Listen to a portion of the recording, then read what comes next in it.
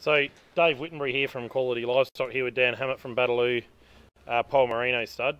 Just uh, came to say g'day at ram lamb shearing time and been doing a bit of wool testing and those sorts of things. So uh, just thought we'd give everybody a bit of an idea as to what Baderloo's all about. Um, so Dan, what are your breeding objectives here at Baderloo?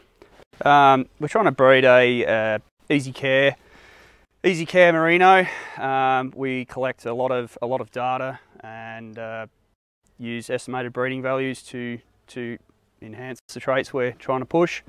Um, free a free growing wool that stays really white. It's bold and and extremely long for for six months shearing, and and with all that, uh, yeah, high fertility, high lamb survival, and low ewe mortality. Yeah, beautiful. So we know that um, in the commercial realms of the merino sheep world, that the um, you know the the goalposts are changing, and and we've been working with uh, with a lot of these styles of sheep more and more from the traditional merino to the type of sheep that you breed.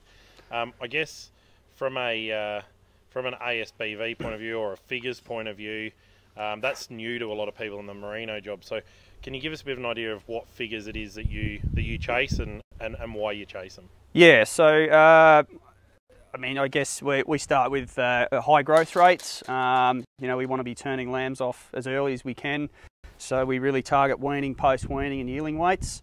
Um, and to go with that, we want high muscle and fat to obviously increase carcass, but also lamb survival and um, and doing ability of the ewe to get more lambs on the ground.